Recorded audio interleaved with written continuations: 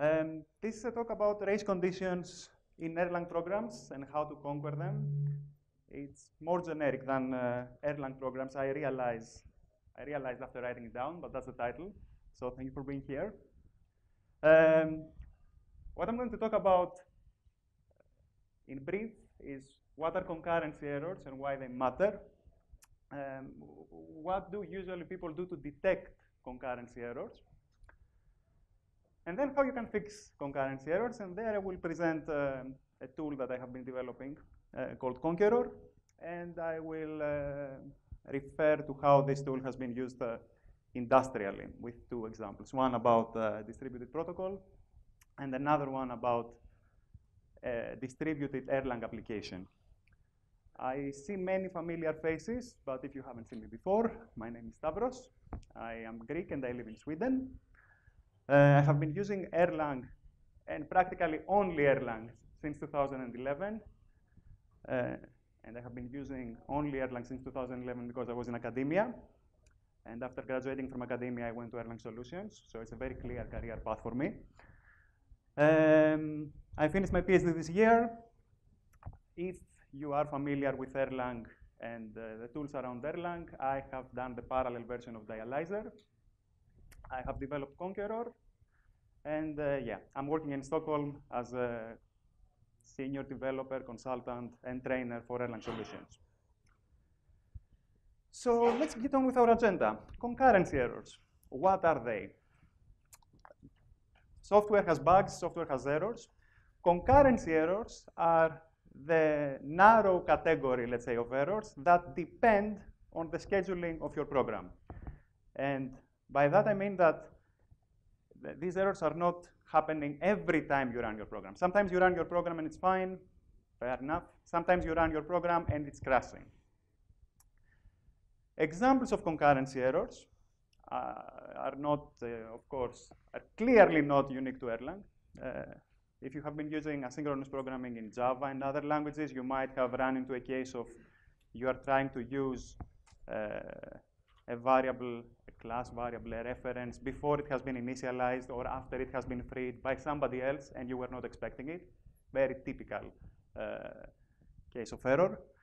Um, atomicity violations, whenever you are doing x equals x plus 1 in an environment where other processes might be doing the same, and one process is doing x equals x plus 1, and another process is doing x equals x plus 1, you might end up with x equals x plus 1 and not plus 2, as you might be expecting, because of the order of this read and the write back.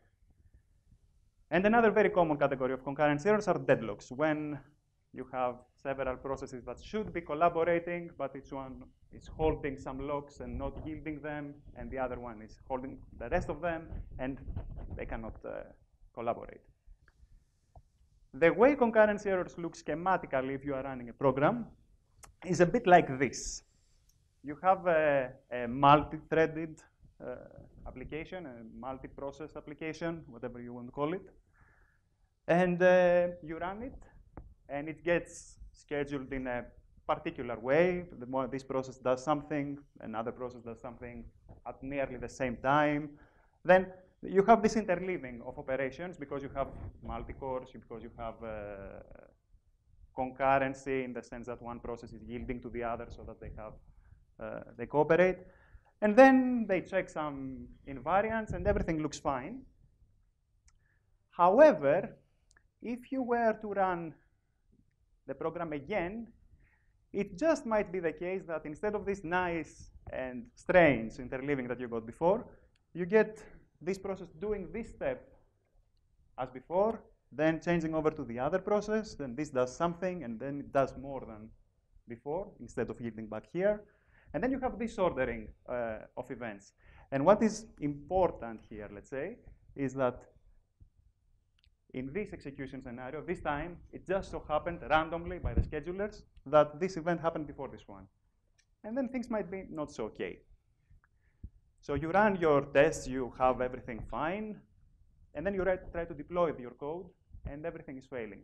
A different way I have seen this uh, being expressed, exactly the same idea, is uh, exactly that. You have developed your application, you have run your tests, and uh, then you go to production. So let's see how it goes.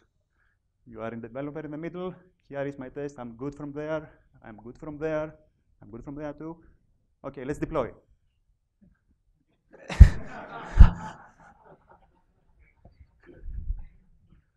What happened? Seriously, I have been testing this. I have been playing with this. I know this. What's going on? Um, what about Erlang? Erlang is a programming language that is famously sharing nothing. You have processes, you have isolation, you have your heaps. Nobody is touching anybody else's stuff. There is, there is clearly, you are in a much saner environment. And yet, if you want to do anything useful with a concurrent program, then you must collaborate, you must share, you must send some results back, you must uh, write in some uh, location, you must do something. For example, in Erlang, you have message passing. If you were at the workshop, you re might remember, or you might know, if you know Erlang, that the order in which you are receiving messages depends on their delivery. If you have a lot of processes trying to communicate with uh, a single process, then the order in which messages are delivered in the mailbox can affect how these are received because it's always the oldest message that is picked out of a mailbox. Now, as much as uh, people don't talk about them, Erlang also has some global data structures that are shared. For example, the registry, where you are assigning names to processes so that you can use them after they have been uh, respawned.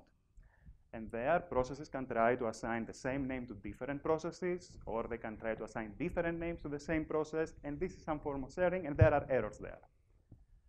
Another one is when you have the most straightforward shared memory in Erlang applications, which is the er, uh, Erlang term storage, the tables that you are reading and writing as if they were a database table, a key value store that is shared among processes. And a lot of other ones. Now, let's try to, to see how a race condition might uh, look in an Erlang program. Let's pick the Erlang registry as an example. And if you have never heard anything about it before, here is a short summary. Uh, by the way, feel free to interrupt me with questions at any point. If you have, in the Erlang registry, you are allowed to map an atom, which is a symbolic constant, to a process identifier. And then you can use this atom to send messages to the process that corresponds to that name. When a process dies, when the process terminates, when it exits, this association is automatically removed, and that's how you don't get the lingering names there. And there are two kinds of errors that are interesting in this example. First of all, if you are sending to, uh, if, if you are using a name to send a message, and that name is not registered right now, either before it's before it has been registered or after the process has died, that's an error. Another error is that if you're trying to register a name for a process that is no longer running, you have to be registering alive processes. And in Erlang, because of the uh, collaborative scheduling and uh, the soft real-time guarantees, the way they are achieved, is that preemptions can happen at any time, I say. Now, in small systems, they won't happen at any time. You will execute a long series. You will never have this kind of interleaving. But if you have heavy load, if you have a lot of operations, whatever, preemptions can really happen at any time. So let's see what happens if we have a program like this. This code is executed by uh, the main process, your first process. And what it does is it's spawning a secondary process that will execute this code, this is that is here, which will wait for a message for a while. And after a timeout has expired, after a short while, it will just give up and give up, go away. Now, after the main process has spawned this process, it will try to register it with a name child. And then it will try to send a message to this process. I want to make this slide a bit uh, more, uh, the previous slide a bit more cryptic by hiding the error. Now, some of you might have already been seen, will have already seen what's wrong here. But let's try to just run this program and see what happens. Uh, let's see, I am a developer. I have my code here.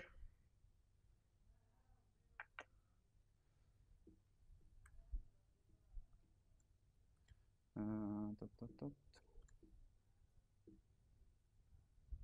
this is my code, as it was on the slide. I have placed it inside the module. There are no differences. I hope you believe me. And then I go into Erlang, and I am compiling my FC 2019 example. And then I am running my function, which is called test. And my result is OK and OK, and I run it again, and I run it again, and I do my iterative deployment. Everything is fine. Everything is fine. So this program is fine. Let's try to deploy it. Now, instead of trying to deploy it for real, what I will do instead is try to simulate an error. Anybody sees what the problem is here? I didn't give too much out. Oh, yeah, perhaps. Yes. What happens if there is an interruption there? What happens if I get scheduled out? Let's see. We can simulate that without by adding a sleep.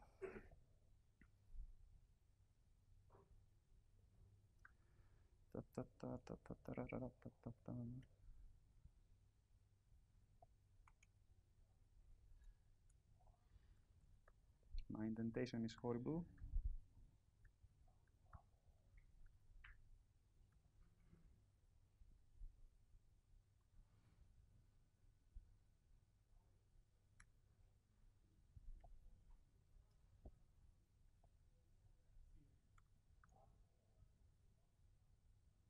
Let's see, you're right. Thank you.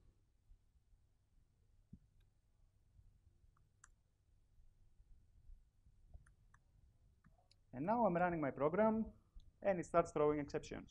Now notice that what I did in the program shouldn't really matter. Preemptions can happen at any time, including between this, uh, these two operations that I had before.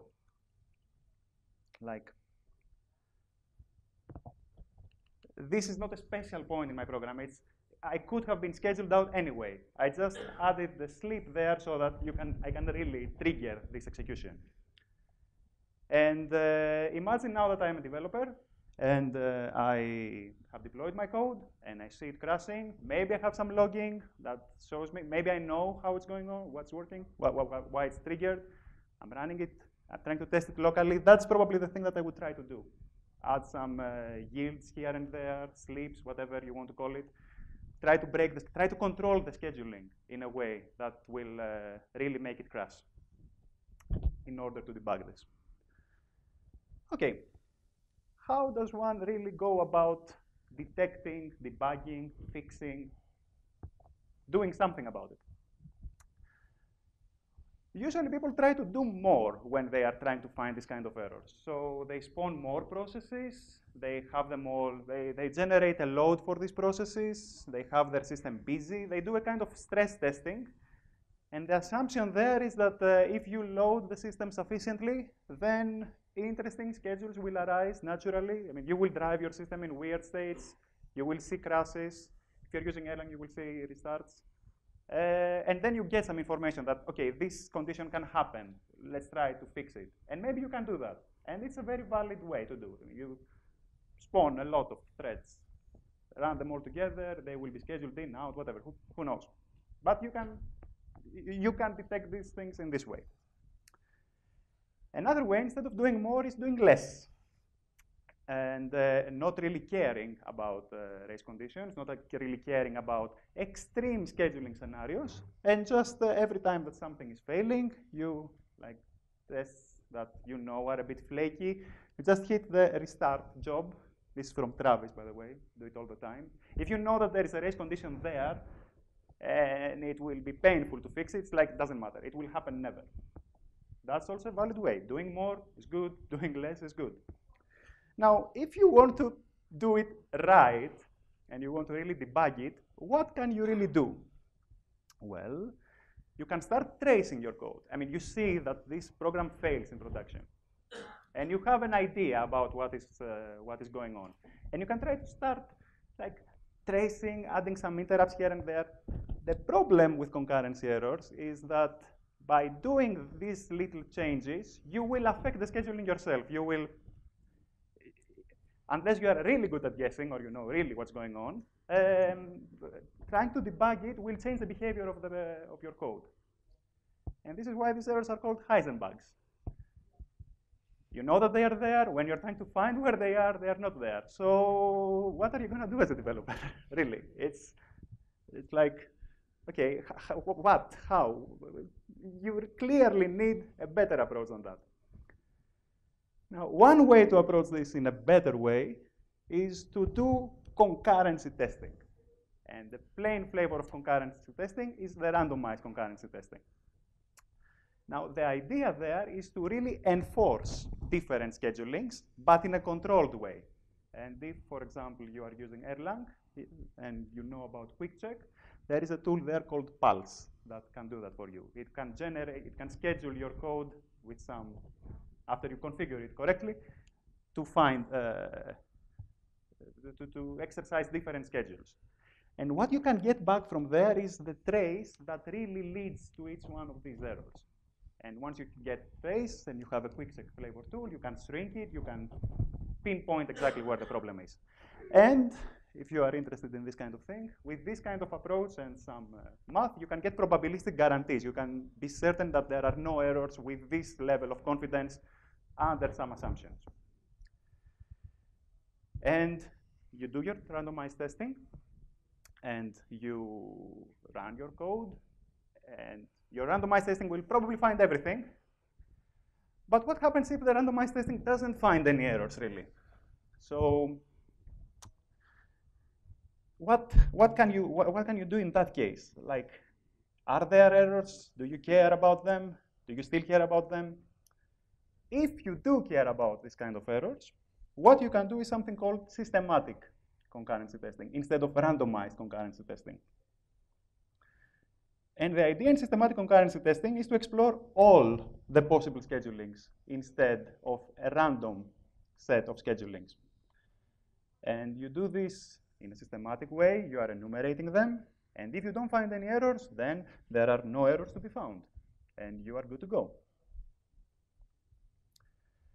So the way systematic concurrency testing works, in the most naive way to describe it, is the following.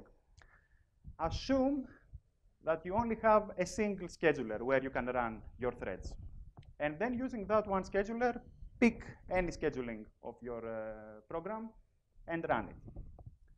Now, if you have been in prolog talks, you have heard about the idea of backtracking going back to the latest point where you had a choice among things to do, and there you do something else. In exactly the same fashion, in systematic concurrency testing, wherever you, uh, you chose an arbitrary scheduling to do your uh, first run through your code, and uh, then at some point you had to choose. You had multiple threads to schedule, and you picked one of them for whatever reason. Then you backtrack to that point, and you make a different choice. And you continue until the end again. And then you backtrack and you continue until the end. And you backtrack and you continue until the end until you either find an error and then you have the trace exactly that uh, led you there, or you have explored all the possible choices of scheduling that you can get there. And then you have explored your entire search space. There are no other possible schedulings, and you are done. Notice that all these approaches are test-oriented. You should know in what kind of scenario. You, you, should be able to simulate the, the, the, rough conditions under which a concurrency error can occur. So you need a test.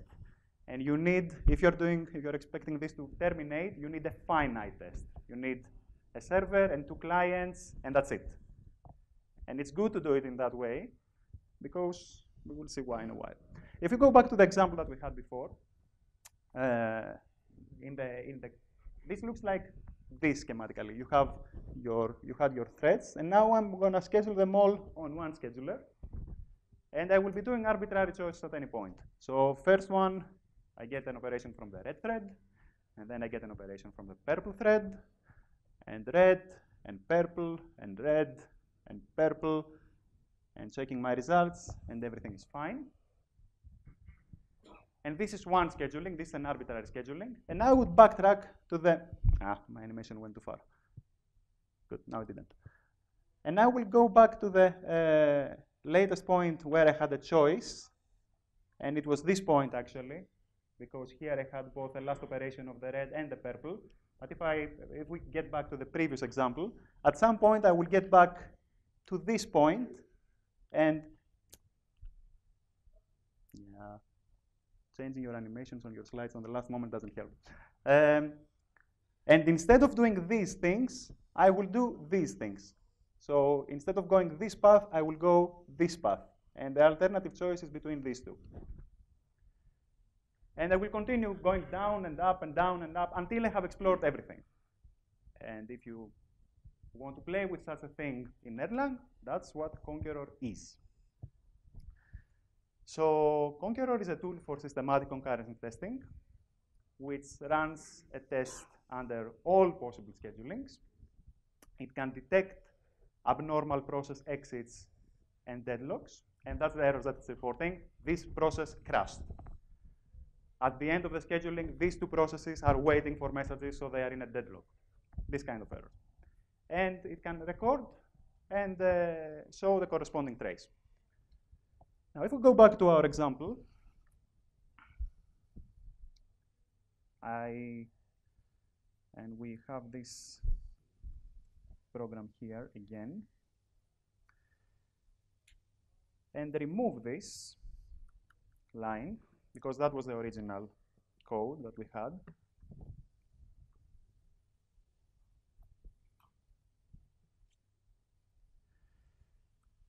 We can just run Concuerror on this file And if the gods of demos are with us, what will happen is that uh, we'll get a printout that is kind of visible. Let me make this a little bit larger.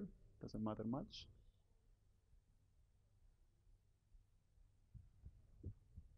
Here is the invocation line. The program will start. It will print a lot of things that I thought were helpful for the first time that somebody is using it. And at the end, it will tell you that I found an error after exploring four out of four interleavings. Let's see what the error is like.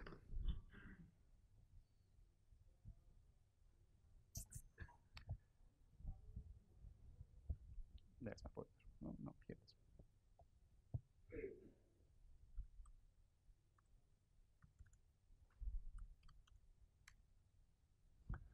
So a lot of options.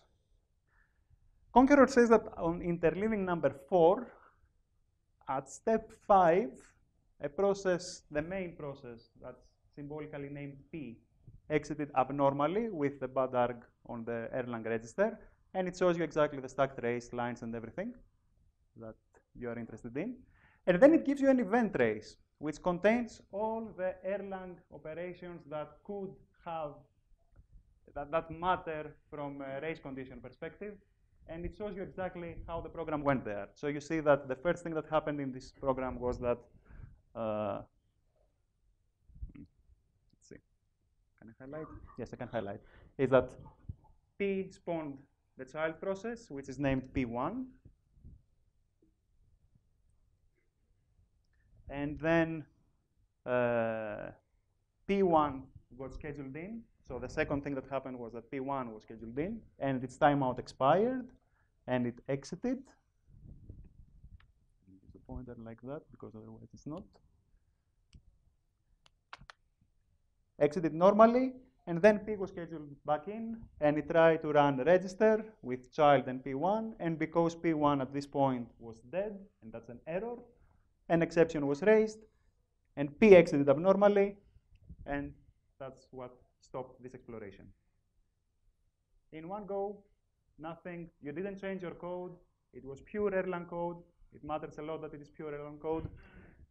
Uh, and uh, yeah, the exploration is done. You get a message that Concuerror stopped at the first error. If you want to find all of them, you can continue. Blah, blah, blah, blah, blah, blah, blah. A lot of chatty things for um, people that are not familiar with this. It would have worked exactly the same, by the way, if anybody is wondering, if I had left the other uh, operation in. If, even if you have your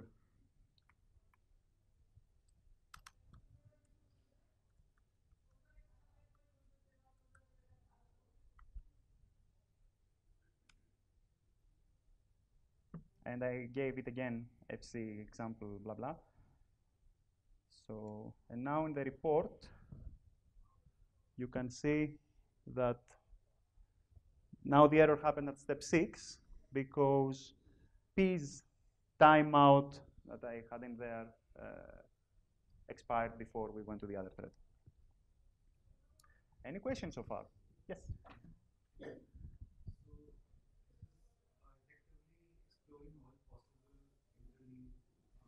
Yes.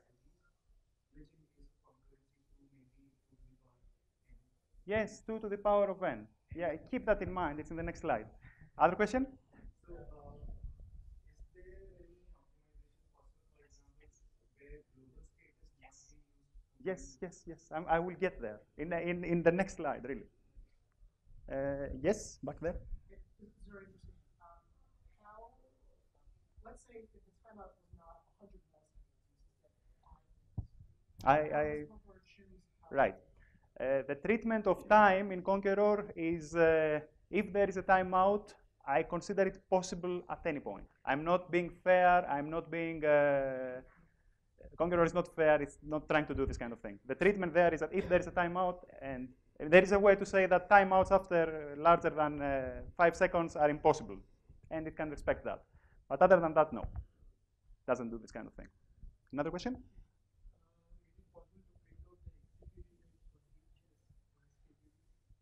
Is there a way to print the schedulings for each test? Yes. Yes, yes. Even the even you mean even the correct ones? Yeah. Yes, you can do that too. The easiest way to do that is to put an error in the end and say explore everything.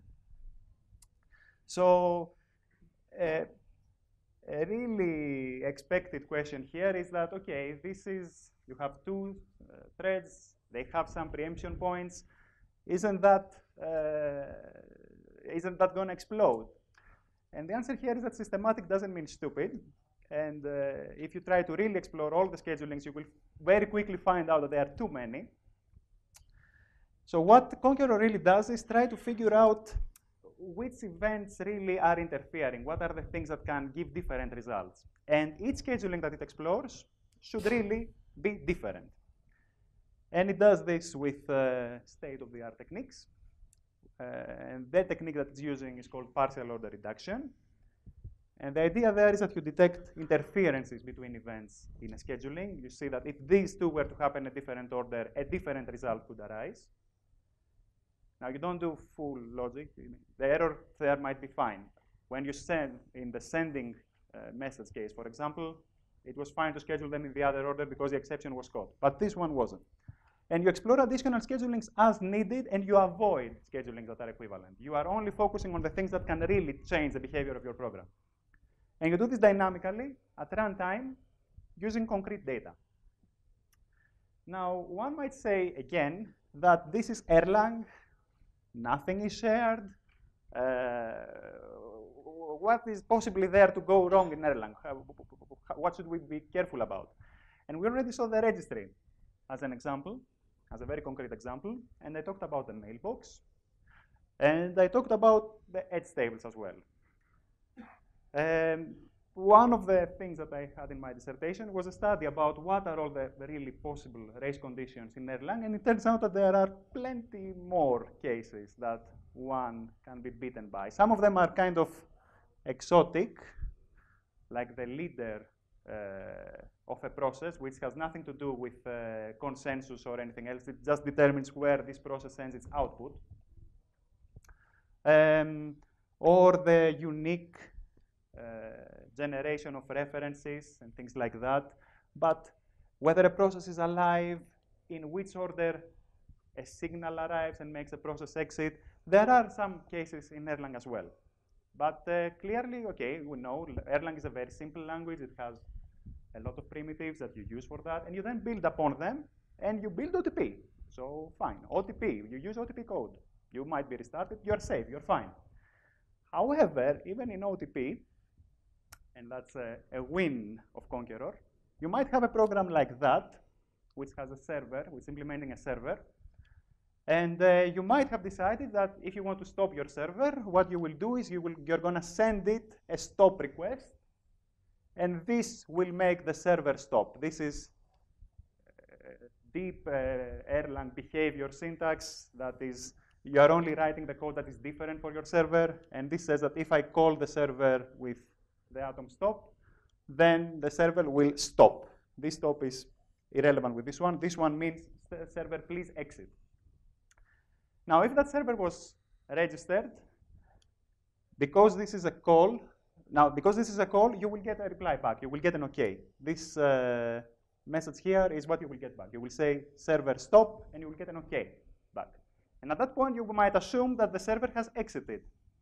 But no, the server has to do cleanups. So if you were to immediately try to start the server again, this same server, and you were trying to give the, the same name again, you will run into the same registry uh, Uh, concurrency error. This server has not fully exited, so the name is still taken.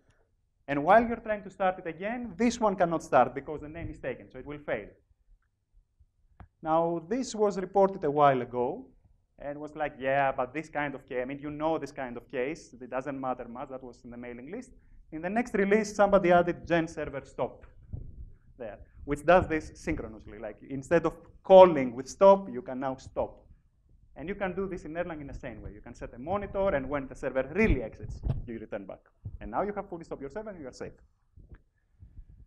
A more recent win, December 12, about supervisors.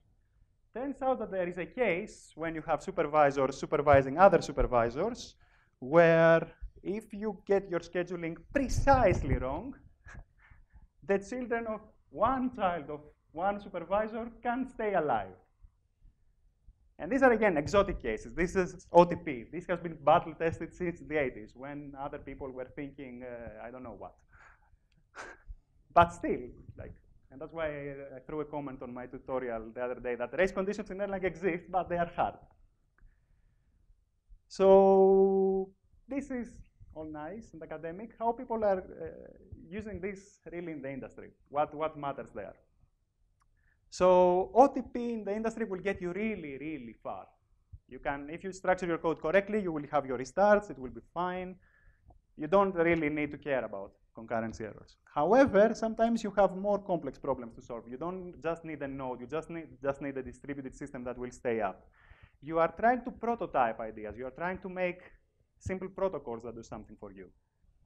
And uh, you can try to implement a protocol that has been written by an academic, and they have proven the correctness fine for some cases, and may have not proven the correctness for all cases because these were strange cases and only an engineer could think of what happens in that case.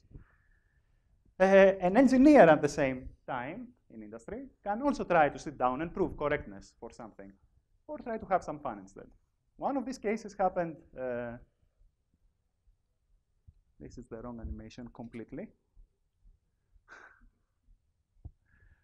One of these cases happened in uh, 2016 when uh, Scott Fritchie, at that time working at uh, VMware, was trying to, to, to see failures, uh, failure scenarios of, uh, uh, of a distributed algorithm. And he was working on that. And at some point, he tweeted that, I thought that this works, but DPOR with Concuerror found an invalid case. The important thing that you should notice on this slide is this one. this is my avatar on Twitter, which means that I saw this. And you know, when you see a user, you run. You run at them, like really. So what was he trying to do? Apparently, there is an algorithm called chain replication that gives you uh, redundancy on a database. And the idea is that you have a chain of servers, and you want the same data to be in all servers, and a simple way to achieve that is to do the writes at the head of a chain, and then those are propagated downwards. And the last one in the chain tells you that, okay, the write is now completed. And you do the reads at the tail. So only once a new operation has reached here is it fully committed. And in this way, you can get uh, correctness and replication and, uh, and everything that you need. Now, what Scott was trying to do was try to implement a, a variant of this where the client is doing the writing instead of the servers themselves.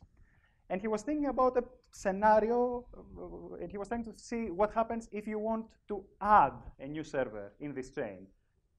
And the assumption there was that if you add it in the tail, and you wait a while for, for uh, values to uh, flow in there, and then you continue, you are safe. So he wrote down a little uh, recovery scenario. You have a new server, you copy your data to it, you add it in the chain. If you try to do this at the same time as two clients are writing two different values to the same key, and at the same time a third client tries to read the key twice, then you might run into problems with your um, uh, with whether you see all updates and everybody sees the updates in the same order. So if you try to add it beyond the tail, what actually Scott did was sit down with some friends of his in a whiteboard, discussed a little bit, spend a while, prove that this cannot go. There is an error there. Take 17 steps. I have a link there if you want to see the error. Uh, and people could do this by hand. Okay, what happens if you put it ahead of everything else? Now, Scott at this point has spent already a day thinking about it, and he knew Erlang and he knew about Concuerror. So what happens if you put it in the head? This happens. You think that it's working, it doesn't. You find an error. The final choice that uh, he tried was try to put it in the middle of it, like try to insert it somewhere in between. So it's not touched by reads, it's not touched by writes, it should be okay. But is it really okay? Who knows? Let's try to, uh, to see it in the model that we write with Concuerror of this. And indeed, if you try to check the scenario where you put your new client in the tail, you can see that there is a bug, and you can find the bug very quickly if you are using bounded exploration, which doesn't explore absolutely everything, even with the constraints that Concuerror is imposing. Once you know that there is a bug, it's usually very easy to find it. Um, the second case was even simpler, one would claim. The bug was found by the tool much faster than uh, the engineers could sit down and reason about. It's fine. However, when you didn't know, when you put it in the middle, you cannot find the bug in the bounded exploration, and the unbounded exploration takes more than 750 hours and doesn't find the bug, and there is more to go.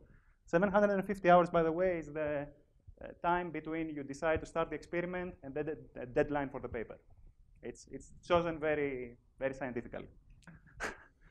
so what do you do then? Well, you submit the paper anyway, and then you spend a while working on the problem, and then you figure out that if you were to really take a look at your model and think about what kind of uh, races uh, you are modeling, you can refine the model and you can focus on better cases. So if you refine the model a little bit and you remove some scenarios because they don't matter, then you can figure out that the first method can find, with the first bad method, you find your bug much more quickly, and that's good. And more importantly, you can verify this. If you put the node in the middle, you can verify this in 48 hours, and back then, or in 4.8 hours after you spend a while out of academia, you can really profile your code and see what the heck you're doing with your functions. So fprof is a great tool in Erlang. Please use it whenever you find bottlenecks anywhere, for any reason. Now, another case. You have other companies that uh, are using Erlang heavily. And uh, these companies are really having distributed Erlang systems and uh, you want to redesign a part of these systems, and you want to make it better. So you re-architect, you change the order of things, you simplify, you merge, you bridge, whatever. You try to make something better, and you want to know that what you have written now is good, is better, has fewer race conditions, has better failure modes. However, this is a distributed Erlang application, and Concuerror can test and verify only single node programs so far because the time to develop other features were not, was not available. So what can you do? Well, you build a model again of Erlang's distribution. And you say somehow that this process is special and all these processes, sorry, all these processes belong to this node. And because Erlang is transparent, it's not very far from reality. Like if you send messages across nodes or if you send messages in, within a node, that's the same. And this process governs this node. And then you can bring nodes up and down if you wish to model this kind of failure. And then you model the connections between nodes and you put some proxy processes here and there. And you can really make a model of Erlang's distribution and get another paper in uh, Erlang Works 2018. That's very recent. And you can test this, you can simulate your algorithms there, and you gain more confidence that what you're doing is good. Any questions so far?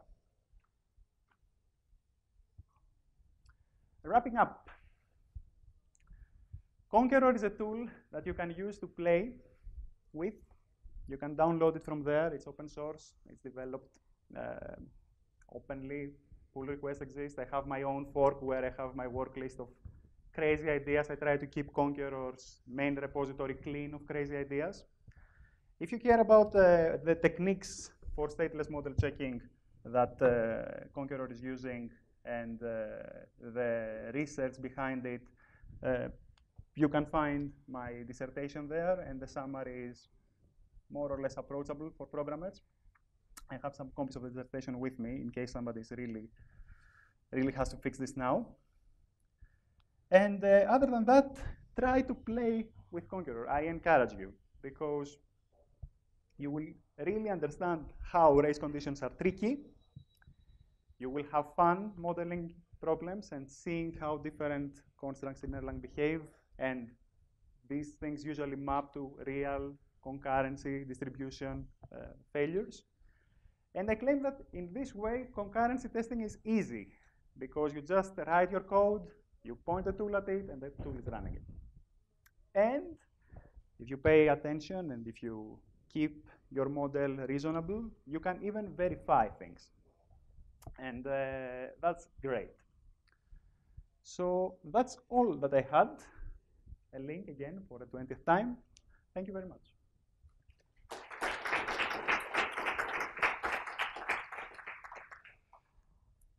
Yes. I just wanted to know, does this kind of a tool, like why does this kind of a tool not exist for JVM? Like does Erlang VM provide you with some specific things where you can control execution? In uh, what happens is that it, it's, it's a it's a mixed situation. This tool exists for JVM too. There are uh, there's a tool called, called Pathfinder, I think, that does uh, that does this kind of thing for uh, for Java programs. It's just the case that people rarely go into this level of detail, and I have really tried to make Concuerror very easy to use, whereas other tools are, I would claim, harder because you need to you need to do instrumentation, and Erlang has a large but relatively clear set of primitives that you need to be aware of. Whereas in JVM, any kind of uh, synchronization variable that you have has to be instrumented, and you have to be interrupting, and you have to do this kind of thing. Just also another reason why it's not in JVM is that I like Erlang more than I like Java. Other questions? Yes. In the, one of the earlier slides, you mentioned uh, where a PID is killed, uh, we have to remove the variable tied to that PID. Okay. And what uh, sometimes uh, the situation is when a PID is killed, it has to be restarted and a new PID is generated. Mhm. That is what happens. In that case, if you uh, should be the, uh, old variable should point to that. what what happens in the in the code example here. For example here um, the, idea is if the PID here is dead you can still send messages to it and it will be fine it's an error if you are using a name for it that doesn't exist so if you if you have a server that is registered under a name and it dies and it comes back again and it's again registered by the name, then there are many race conditions there between you sending messages. You might be trying to send a message just before the server unregisters. The message will be eaten by the old server and lost. You might send the message after the server has unregistered. That's an error because the name is not there. You might send the message after the new server is up, but before it's registered. Concuerror will explore all these positions. All, all, all, there is a race between unregister, register, and send with a name. Concuerror will exactly schedule this. The solution here, the uh, accepted solution is to have this register statement in here, have an initialization phase here that is, and after this has happened, you send the message back, and uh, that's when you try to send messages to it. And maybe have a monitor there as well. Eh, you just use OTP. is what the solution there. In one of the you mentioned about one supervisor for other. Can you explain? One? supervisor? Yes, yes, yes, yes, yes. The uh, okay. Maybe we can take that. Uh, you mean this one? Yeah. It's a case where you have a supervisor that wants to kill its children, uh, that it wants that you have told to exit, and one of the children is also supervisor. So you tell that supervisor to exit, and supervisors are nice to each other, and there's one that says, "Please exit," and the supervisor below will do that. So it will ask the first child to exit. And this might take a while. And the way the supervisors are exiting are they are unlinking from the children, and then they are sending them a signal to kill them. And this might take a while, and when it gets the confirmation, it might unlink from the second child, and at that moment the parent supervisor is like, you took too long, die. And now this dies, anything else dies, the unlinked child stays alive. A warning in OTP documentation. These are not uh, cases that uh, you will run into ever unless somebody has told you, I think there is an error with supervisors. And I sit down and I write a five line model and I'm like, I didn't find your error, but I found another error. That's it. And then you tell people, yeah, you have seen processes being alive after we kill the supervisor. We wonder why. That's why. I claim. What? Yeah, yeah, yeah, yeah. They can be. Do they actually share any memory or how they can? Uh, they share memory on ETS tables, they share the registry, and they share the mailboxes in a way because anybody can write on anybody else's mailbox. No. Processes can die by themselves. It's, Erlang has a clear point of where things are shared or not, and that's why you can make tools like this.